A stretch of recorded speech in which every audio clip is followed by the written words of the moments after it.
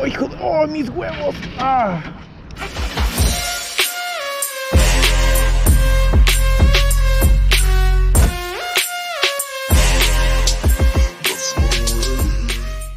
Hey, ¿qué onda gente? ¿Cómo están? Espero que estén bastante bien. Yo soy Andy Castillo y sean bienvenidos a un nuevo video.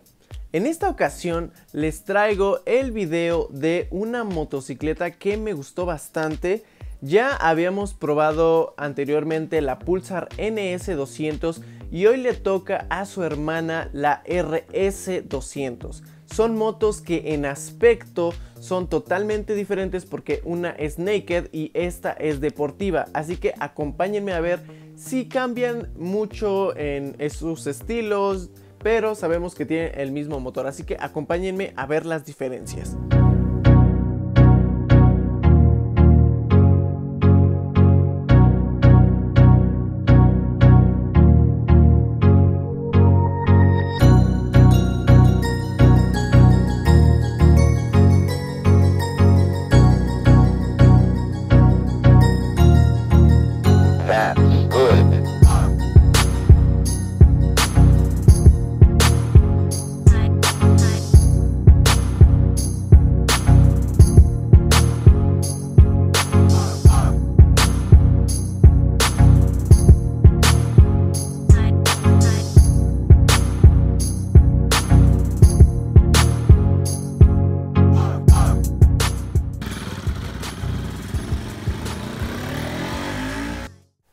Amigos, nos encontramos con la hermana deportiva de la familia Pulsar, que déjenme decirles que ya lleva un buen rato en el mercado teniendo el mismo aspecto al igual que la NS. Pero esta aún sigue siendo una moto competitiva al igual que las motos que se van estrenando año con año, pero ahora les voy a explicar por qué. Antes de que yo entrara por completo a este mundo del motociclismo ahí por el año 2015, esta moto ya estaba disponible en el mercado, siendo de las pocas motos de cilindrada pequeña en incorporar doble freno de disco con sistema ABS, inyección electrónica y 24.5 caballos de fuerza, que en ese tiempo mínimo aquí en México no era tan común en una moto pequeña. Enfocándonos más específicamente en la ficha técnica, nos encontramos con un motor 199.5 centímetros cúbicos que se redondea a 200. Es un motor SOHC de 4 válvulas refrigerado por líquido, cuenta con 6 velocidades, cuenta con una potencia de 24.5 caballos de fuerza a 9000 revoluciones por minuto, un caballito más que la NS tiene un torque de 18.30 Nm a 8000 revoluciones por minuto. Cuenta con la tecnología DTSI que incorpora tres bujías para mejor potencia y rendimiento. Hablando de rendimiento, fue de las primeras en incorporar inyección electrónica para precisar la entrada de combustible al acelerar. La marca nos dice que el rendimiento de gasolina es de 38 km por litro, lo cual es aceptable, pero hay personas que me comentan que da más y hay otras que me dicen que no pasa de 38 kilómetros. Pero esto depende mucho también de nuestro estilo de manejo. El tanque de gasolina de esta motocicleta es de 13 litros, lo cual es una capacidad aceptable para la ciudad y sabiendo que tiene un buen consumo no tendrás mucho problema. Al igual que la NS también incorpora enfriamiento líquido lo cual evitará que la moto se sobrecaliente en la parte del motor y así podamos continuar con nuestros recorridos. En la parte de la suspensión nos encontramos con una horquilla telescópica convencional en la parte delantera y en la parte de atrás nos encontramos con un monoshock o un mono amortiguador con sistema Nitrox que hará que la absorción sea más suave y más precisa. En el apartado de las ruedas viene algo interesante, nos encontramos con una llanta delantera medida 180 RIN 17 incorporando un freno de disco de 300 milímetros con un caliper de doble pistón firmado por Vibre y también con el sistema ABS Anti-Block System para tener una frenada más rápida y más suave. En la rueda trasera tenemos una medida 130-70 RIM 17 con frenos de disco de 230 milímetros con un caliper de un solo pistón también firmado por Vibre. Aquí yo observo los canaletes o los canales del sistema ABS, pero la verdad yo desconozco si en la parte trasera también está incorporado este sistema. Si tú tienes una de estas eh, Pulsar RS y sabes si está incorporado el freno trasero con ABS, ponlo aquí en los comentarios para que sepamos mejor si es que el ABS está incorporado aquí en la parte de atrás. Yo aquí lo estoy viendo, pero no sé con certeza. En el apartado de la iluminación en la parte delantera tenemos dos pequeños cuartos de LED, lo cual fue de las primeras Pulsar en incorporar este tipo de luces y dos focos halógenos con lupa que proyectan la luz de una manera bastante bien y bastante potente, lo cual también para ser de las primeras Pulsar este, también incorporó la lupa, lo cual muy pocas motos lo tienen en baja cilindrada.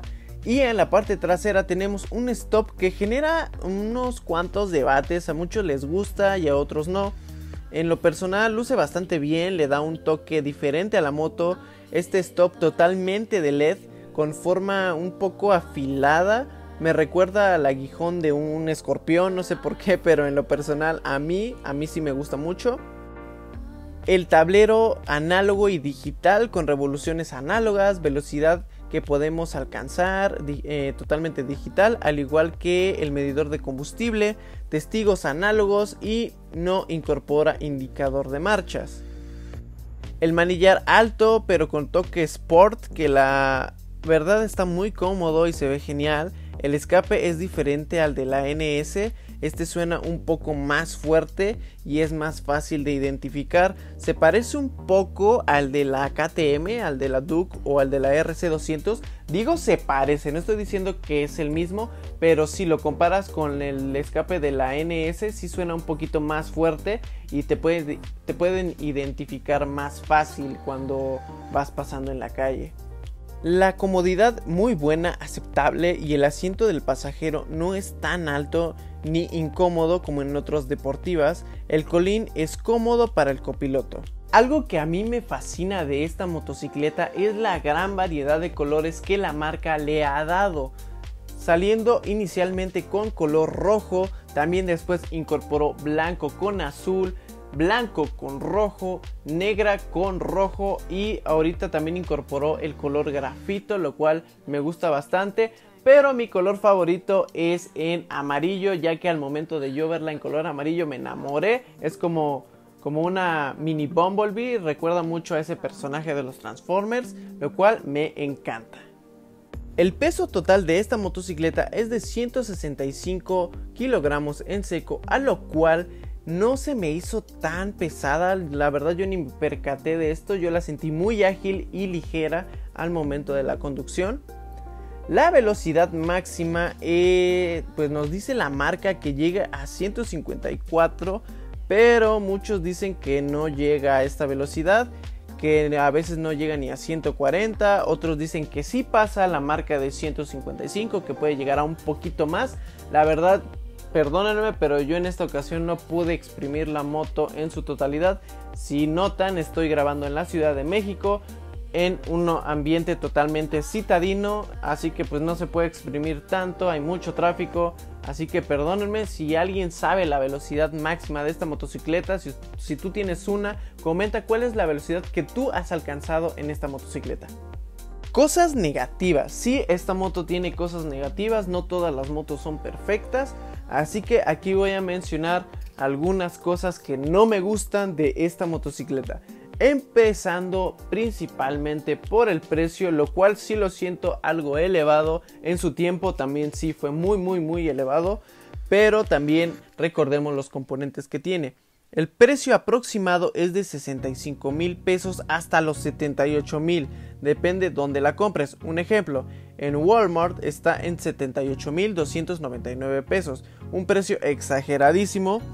En Liverpool está en 69 mil 599 pesos, no tan exagerado como en el anterior, pero aún así es algo caro.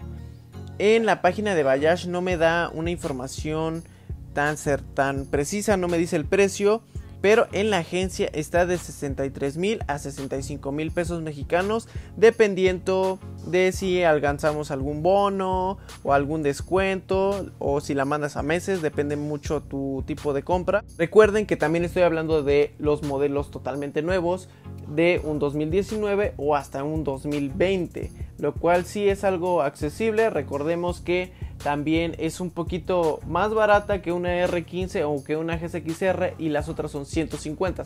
Pero las otras están enfocadas totalmente al mundo deportivo, tienen un fin diferente, lo cual si tú solo la usas para el uso citadino y te gusta el estilo, lo cual es una muy muy buena compra, la verdad yo sí te recomiendo una. En segunda mano las puedes encontrar aproximadamente entre los 50, 40 mil, si tienes mucha suerte en 38 mil, 39 mil, lo cual ahí sí es una compra muy muy buena, dependiendo también en las condiciones que se encuentran. Si se encuentra en condiciones excelentes, es una compra más que recomendable porque ya tiene el ABS, Fuel Injection y creo que pues va a cumplir con las normas que van a venir a futuro con la Euro 4 y todo esto. Otro punto negativo es que la misma marca la está rezagando de ser la moto bautizada como la Pulsar más rápida por la misma marca, ahora se ve un poco opacada por su hermana la NS que tuvo actualizaciones y ya también tiene inyección electrónica y ABS. Pero que no se nos olvide que la RS lo tuvo primero. Muchos prefieren la NS porque es más fácil de modificar, más fácil de manejar en la ciudad, por ser una naked, porque también es más barata, pero también esta también lo hace muy bien en la ciudad. Eh, si te gusta más el estilo este, deportivo, pues esta es para ti, ¿no? Otra también que ayuda a que desplazaran a la pequeña RS200 es su hermana mayor, la Dominar 400, que por unos 10 mil, tal vez 15 mil pesos más, te la estás llevando con el doble de motor. Pero no se crean, la moto no es mala. Al contrario, es una muy buena moto, solo que la marca ya no le está haciendo tanta fiesta como al principio por estar enfocados más en la nueva Dominar. Yo recuerdo los anuncios de Bayash que presentaban la NS, la AS y la RS y te decían que había una para cada estilo. Ahora sí que tú eres el que decide cuál es la que te va perfecto para ti. La verdad, yo, yo les voy a ser sinceros, yo soy amante de las tres. Me encanta la NS, la AS, que fue descontinuada, la verdad. Y la RS siempre fue como mi top. La verdad, sí me gusta. Eh, las tres tienen eh, un lugar muy bonito en mi corazón, pero la RS siento que destaca un poco más porque fue mi moto de ensueño mucho tiempo yo la veía y decía, yo quiero algún día tener una RS. Yo empecé a consumir videos de motovloggers gracias a, que yo buscaba en YouTube videos Pulsar RS, videos Pulsar RS, velocidad máxima. Entonces de ahí fui descubriendo el mundo de los motovloggers. Yo si tengo la oportunidad de adquirirla, yo sí lo haría, obviamente de segunda mano. Yo siento que ya nueva, pues no, no, yo buscaría otras opciones como la Dominar 400, pero de segunda mano es una muy buena opción, dependiendo también en qué condiciones la estamos agarrando. Así que esta moto es de mi hermano, pasen a su canal Trascender Motos para que también puedan verla y díganle pues que saber pues, si nos arreglamos, si puede ser la próxima moto de este canal, no lo sé, tal vez, dependiendo qué, qué tan loco estoy, no lo sé. El mundo puede cambiar y hay muchas posibilidades, así que vamos a la prueba de manejo.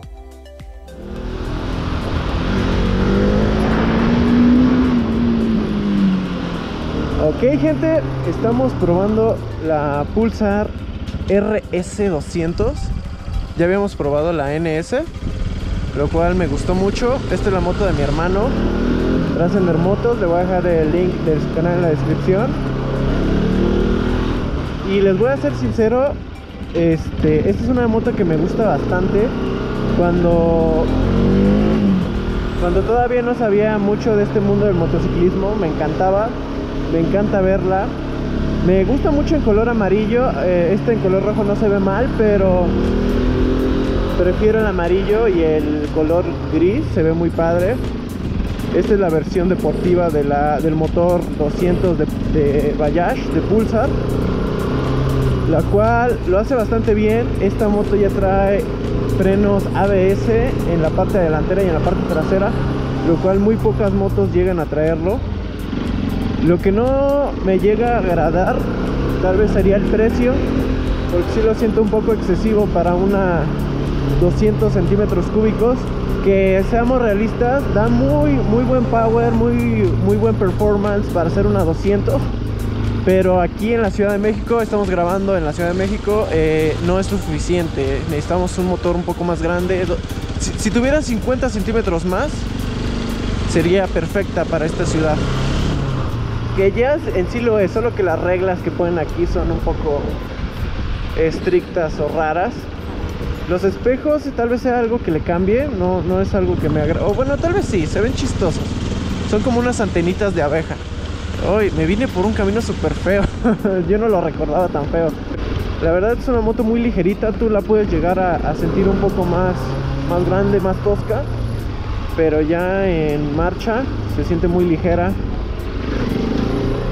Yo tenía miedo por no, no poder controlarla tal vez, pero se siente muy bien, el freno delantero es muy bueno. El trasero tal vez le falta un poco de power, pero es tal vez por las balatas que ya están un poco gastadas. Pero siento que, no sé, sí la siento un poco diferente a la, R, a la NS. No mucho, pero sí en, en algunos aspectos. El escape es diferente en esta. Es un poquito más, más deportivo porque se escucha más fuerte el escape, el, obviamente el carenado. Creo que esta tiene un caballito más de fuerza que la que la NS, pero la verdad, si no sabes exprimirlos como yo, no te darás mucha mucha cuenta.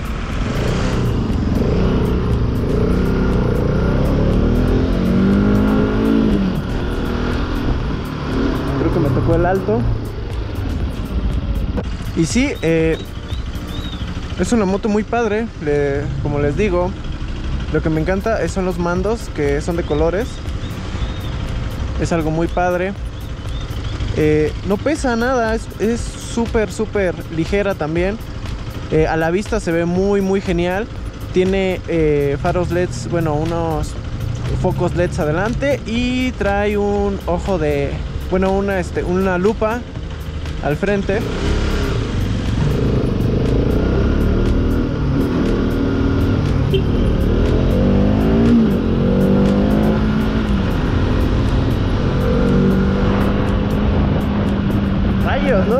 recordaba que el pavimento aquí era tan feo. Ahorita no la corro tanto porque no conozco bien la zona. Pero se desempeña muy bien, la verdad. los espejos sí como que no me agradan tanto, pero no están tan, tan mal, ¿saben? Siento que sí pueden dar un buen una buena vista, una buena panorámica de donde de lo que estamos viendo hacia atrás. La moto. ¡Oh, hijo! ¡Oh, mis huevos! ¡Ah! Corta muy abajo. Ah, no, corta muy arriba, más bien. Ya no me acostumbré a motos que corten tan arriba. Oh, no, esta corta muy... Sí, corta muy arriba. El clutch. ¡Ay! Sí me dolió. También la llanta de atrás ya está un poco lisa, pero frena muy bien. Para hacer una moto citadina está perfecta, está más que perfecta. absorbe muy bien las irregularidades. Ya vieron, por eso como que no le, no le meto porque el pavimento así está para llorar. bueno, aquí, aquí ya no tanto.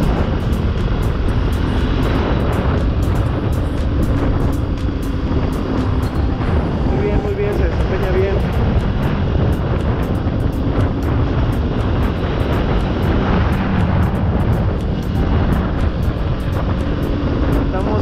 la Ciudad de México, bajando de la Cusco.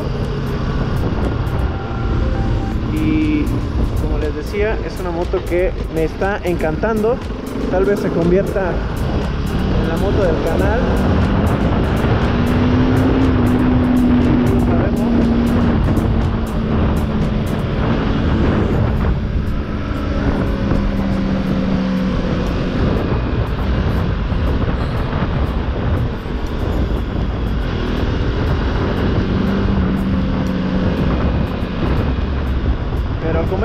Bueno, a mí, en lo personal, le agarré, un poco de amor a la NS. Pero no sé. Esta me gustaba mucho. Yo empecé a ver videos de motos gracias a esta moto porque yo la veía en, en Liverpool. En color amarillo. color amarillo es hermosa, la verdad. Este, y sí, me enamoré. Ya hoy en el momento ya no tiene las cosas que tal vez yo ando buscando en una moto. O tal vez sí. Lo único que no, no me agrada tanto es la cilindrada. 200 centímetros, pero este no está tan mal. Frena bien, freno delantero, muy bueno.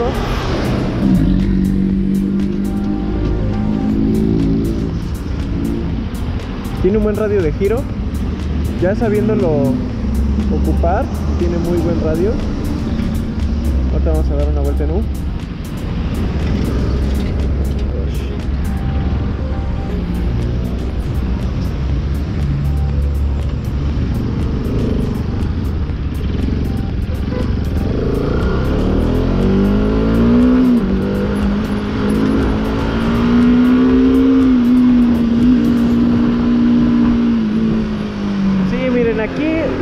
no es como donde yo vivo, donde puedo exprimir los top speeds, pero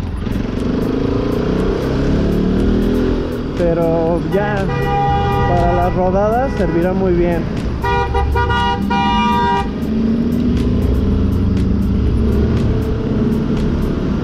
Aquí sí tenemos que andar a las vivas. Pero sí me encanta, me encanta, me gusta mucho. Me gustaría poder exprimirla un poco más, pero estamos ahora sí que en un ambiente 100% citadino, la ciudad, así que no, no la podemos exprimir.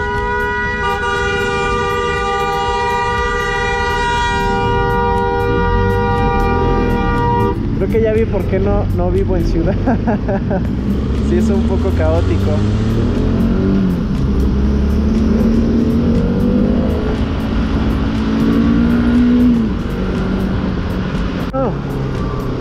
Ya saben, yo soy Andy Castillo. Denle like, compártelo con sus amigos. Síganme en mi Instagram, que los voy a dejar aquí abajo en la descripción, Andy Snake Castillo. Y también pasen a la página de Facebook para que estemos más en contacto, Andy Castillo 7. Por mi parte es todo, yo soy Andy Castillo y nos vemos hasta el próximo video. Chao. Ok amigos, muchas gracias por llegar hasta esta parte del video y aquí voy a mencionar a los ganadores de la dinámica que puse en la comunidad de Adivina Adivinador. Así que los ganadores son los siguientes. Ok, pues vamos a mandarles saludos a los que adivinaron. Vamos a enviarle saludo a Octavio Carmo que adivinó que era una Pulsar RS200, a Marty Álvarez, muchas gracias por adivinar que era una RS, a Alexander Rosales eh, pues puso que era una Pulsar, puso que era la NS. No, pero aún así te saludamos. Revisa que ya habíamos hecho un video de la NS200. A Abel Amayo también le mando un saludo porque también adivinó que era una Pulsar RS200. Y a Eric Flores también le mando un saludo. Que también ahí como que para ti estuvo fácil porque tú tienes una RS200. Ahí se ve en tu foto de el canal de YouTube. Así que Muchas gracias por participar. Ya saben que estas dinámicas las subo antes de hacer el video. Si tú quieres que te salude en un video, tienes que adivinar qué moto es la que va a salir en el video. Ya saben, yo soy Andy Castillo y nos vemos hasta el próximo video. Chao.